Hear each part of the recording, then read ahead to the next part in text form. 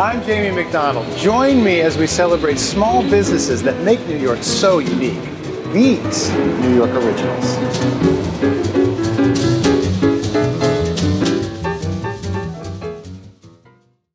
Most people think of Williamsburg, Brooklyn now as hipster central.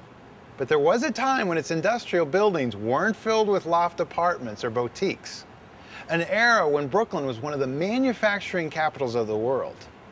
Luckily, a few of those businesses still survive. Making goods you probably see every day, like this place, the Embee Sunshade Company. They are a classic fixture on the New York City landscape. So it's only fitting that the best sunshades probably in the world are made at the Embee Sunshade Company on Metropolitan Avenue. We sell all types of umbrellas for the sun, starting from five and a half foot in diameter up to 10 feet in diameter. They're used for the beach, used for push carts, they're used for tables, cafes, any place that needs umbrellas for the shade, we make them. They are also one of the oldest umbrella manufacturers in America and the last still making them in this country.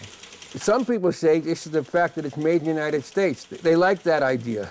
It also can be custom made. It's, it doesn't come out of a box style umbrella. If somebody wants something with a color combination, we can do it for them. As a matter of fact, about three years ago, someone called us from O Magazine, which is Oprah Winfrey's magazine, and she wanted an umbrella with a certain uh, design on it, and we made the umbrellas for them. Oprah's not the only one who's come calling. Embee umbrellas are all over the place, from New York City's park system to a Woody Allen movie. Embee Sunshade began in 1933. Embee Sunshade was started by my grandfather on the Lower East Side originally. Me and my cousin Herbert are both, are both owners of the company. We're the only ones. All of the umbrellas are made in their Williamsburg factory, a converted turn of the century horse stable. And as more manufacturing jobs move overseas, Embee has managed to survive by keeping a group of uniquely skilled craftsmen on hand, some of which are of a few in the country who are able to make sunshades of this quality. Still, sometimes buyers don't understand. You get what you pay for, opting for cheaper umbrellas that only last for one season. Well, it's hard to compete because if you want quality, you have to pay for quality. The steel cable costs more, aluminum tubing, heavy wall aluminum tubing costs more. If you weigh one of our seven and a half foot umbrellas against an imported seven and a half foot umbrella, there could be two or three pounds difference in it, just because ours is heftier and has more, more quality built in. And as Barnett knows, this business is about more than just putting sunshades on the landscape.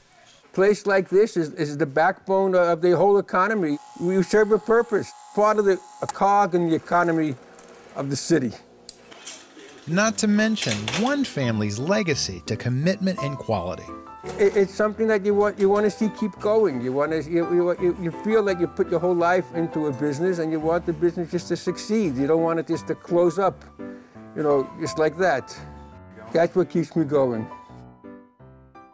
Now, you don't have to go to Embee Sunshade to order one of their umbrellas. They do a brisk business on the web and are also happy to send you a catalog.